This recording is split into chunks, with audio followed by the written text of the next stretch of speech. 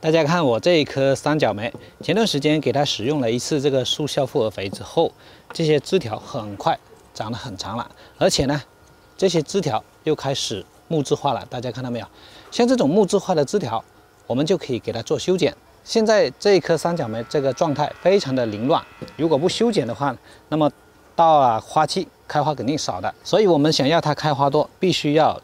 把握好时机给它修剪，也就是等这些枝条木质化再给它修剪。大家看到没有？这些都是木质化的。那么这种木质化的枝条，我们剪掉之后才容易长更多的新芽出来。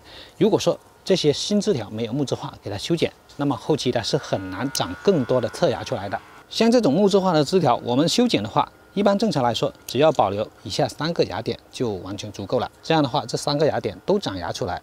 那么到了后期开花就翻好几倍，所以说大家给自己的三角梅做修剪一定要对，我们给它修剪不能过早，也不能过晚，一定要看好这些新枝条木质化，马上给它修剪。好了，修剪完成之后呢，接下来就是继续给它追肥，把这些枝条养强壮，继续让它长一波新芽出来，因为很快就要到它的花期了。